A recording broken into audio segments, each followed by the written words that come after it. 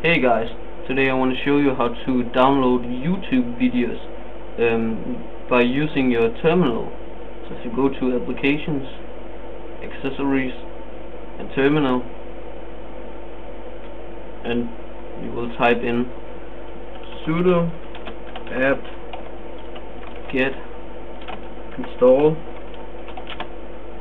YouTube dash DL it will be in my description. Just hit enter and it would take about 20 seconds to install okay? And then you need to find a YouTube video. Just gonna take this one giveaway don't know what it is. And copy the the URL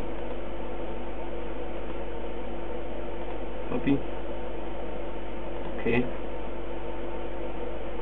Now I need to type in YouTube DL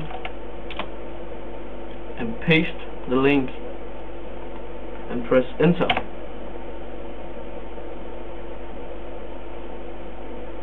And you'll see uh, retrieving video data. You can see how, how far it is by downloading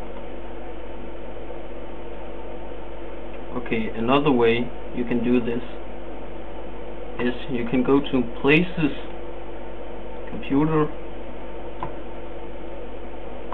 and go to file system.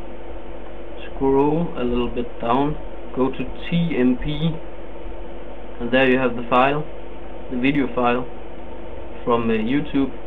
Just drag it and drop it on your desktop. So quick little tip. Thanks for watching. Rate comment and subscribe. See you in my next video. Bye